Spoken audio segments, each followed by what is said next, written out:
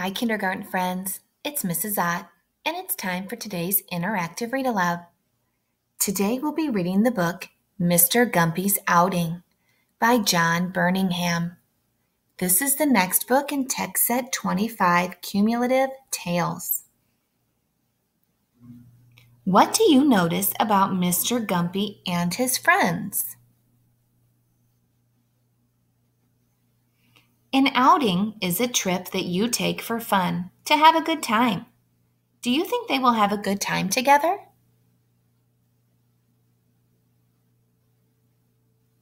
This book, boys and girls, has won awards. You can see the award right here. It's a Parent's Choice Award. Let's read to see what is so special about this book. Mr. Gumpy's outing. This is Mr. Gumpy. Mr. Gumpy owned a boat and his house was by a river. One day Mr. Gumpy went out in his boat. May we come with you? said the children.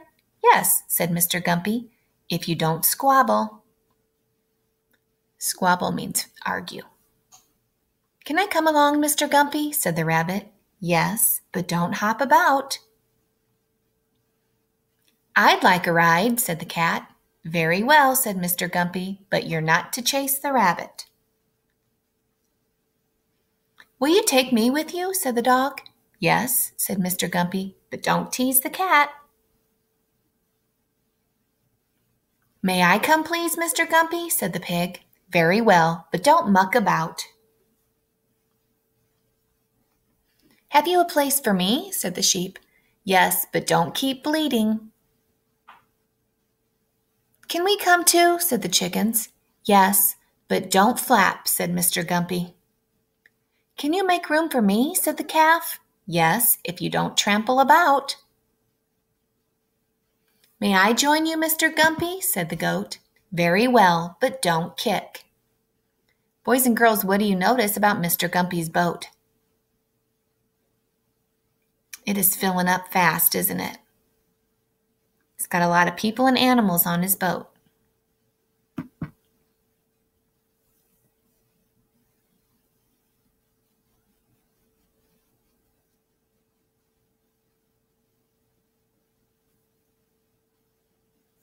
For a little while, they all went along happily, but then the goat kicked, the calf trampled, the chickens flapped, the sheep bleated.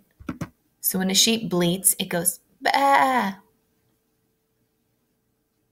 The pig mucked about, the dog teased the cat, the cat chased the rabbit, the rabbit hopped, the children squabbled, the boat tipped, and into the water they fell.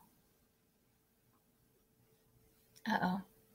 Then Mr. Gumpy and the goat and the calf and the chickens and the sheep and the pig and the dog and the cat and the rabbit and the children all swam to the bank and climbed out to dry in the hot sun.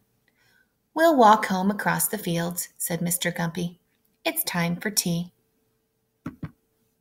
Boys and girls, does Mr. Gumpy seem mad? He doesn't. Looky there. Goodbye, said Mr. Gumpy. Come for a ride another day.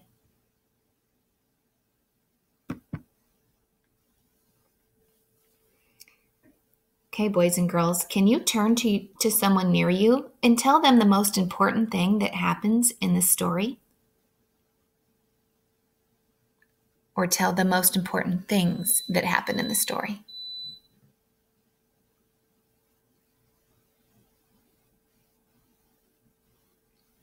Okay, so the story starts off with Mr. Gumpy. He goes for a boat ride. And then who goes with him? Children and many animals. Then what happens? The boat tips, and they all go to Mr. Gumpy's for tea, and they all become friends. The animals aren't very good on the boat, are they? Why is it so difficult for the animals to behave in the boat? Sometimes it's hard to do the right thing. Think about what happened in the story.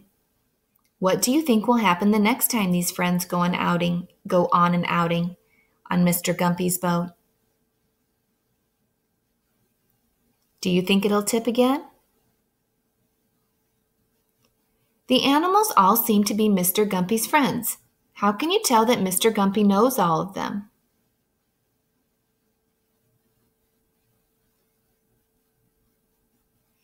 He says they can come on the outing with, with him and the children. He knows how they can sometimes behave.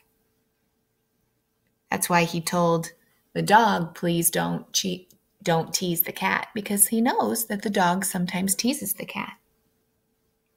This is a fictional story that the author made up. How do you know this is a fictional story? The animals talk and act like people. The author gives clues about what will happen next. How does he do that? Yeah, there's a pattern on each page and it shows a new animal getting onto the boat. All right, boys and girls, I hope you enjoyed the story today, Mr. Gumpy's Outing.